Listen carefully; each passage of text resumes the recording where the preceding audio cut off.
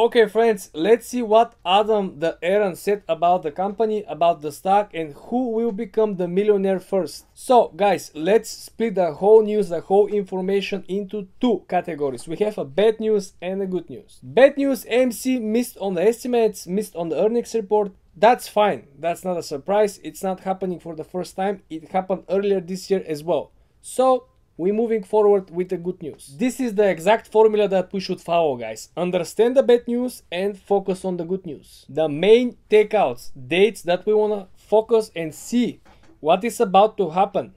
So, we have share count on June the 2nd. So finally, uh, we will see how many of these counterfeited shares are out there uh, on June the 2nd. This probably has the potential to trigger uh, the, the short squeeze. And this uh, maybe maybe I think it will kick uh, somebody in the head. 80% of the shares are owned by individual investors.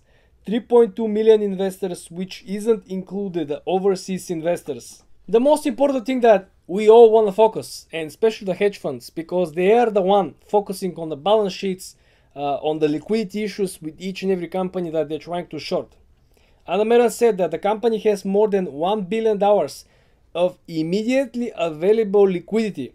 That is the highest quarter end liquidity that AMC has ever had in the entire 101 year history of the company. I don't have a glass, but cheers for the hedge funds. Okay, the another big thing. We all know AMC uh, had on the site 43 million shares available for issuing. From these 43 million shares available they were planning to issue, they are already being sold 17.3 million. So people who bought the dip the last couple of weeks, uh, I also purchased some more shares uh, last week. So I think we all have some of those shares in our accounts already.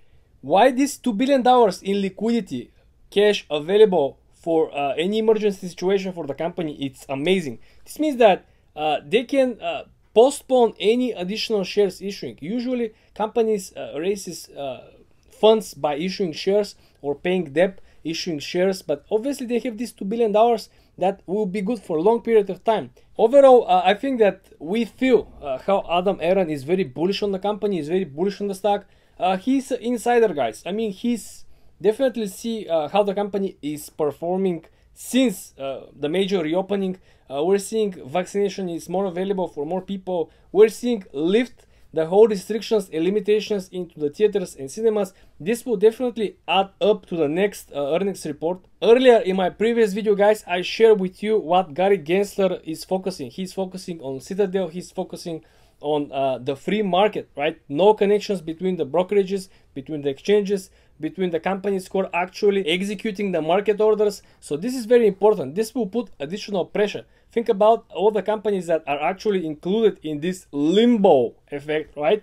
They have to be very careful. Uh, buying back all these shares, they have to think about the future way of how they're gonna build their business again. Most likely, the previous market conditions won't be available in the future. Subscribe to the channel, like this video, and come back for more.